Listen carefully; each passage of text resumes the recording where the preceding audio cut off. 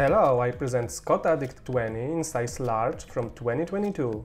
Well, maybe at least that's what left of it, because its owner made a lot of upgrades. Addict belongs to category of road endurance bikes and has a comfortable geometry, especially designed for longer trips.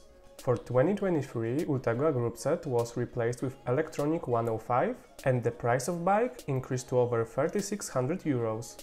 Luckily, there is also a version 30 on regular 105 for 2800. Of course, its frame and fork are made of carbon, which has a big advantages such as low weight, high stiffness and possibility of shaping the frame according to needs, but also serious minuses, like high price, which does not always go hand in hand with quality, and the most important to me, why I had carbon frame only once and I won't buy such a thing never again, is very low resistance to mechanical damage. Here you can see how the derailleur cage made hole in chainstay tube.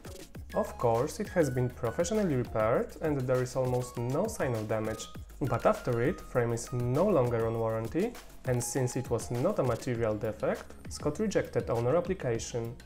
Addict 20 is very well equipped, Scott installed full Shimano Ultegra R8000 group set, carbon seat post and aluminum Syncros cockpit, for which owner bought a very expensive dedicated Garmin mount.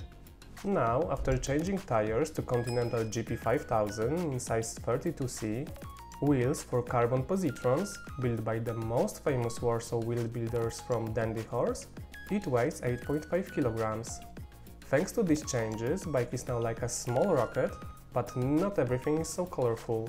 Recently I had two more new Scotts to review, Metrix and Speedster, and in their cases there was something wrong with stock wheels, which in this bike did not even have a chance to present themselves, because they were immediately replaced. But Syncros saddle remained, and after half a year it caught a very big slack on its rails. Of course, it's just a saddle, so small thing, but three new, not cheap bikes, and there was something wrong in each of them, for me it's strange. However, I will point out that the main components like frame and fork are very well made and have a beautiful paint job with a slightly visible carbon structure and color changing stickers, which I always like. This particular Addict is not only for taking photos for Instagram. Bike is used all year round, even in winter, and so far it made over 4000 kilometers, and bottom bracket and headset still works fine, and that's what really matter. The only parts are missing for perfect happiness is carbon handlebar and probably in the future current Ultegra will be changed to some electronic group sets and cranks to some equipped with power meter. I don't think there is anything more to add in here. Oh no, I forgot about this Garmin connected with rear light equipped with radar to warn of oncoming cars.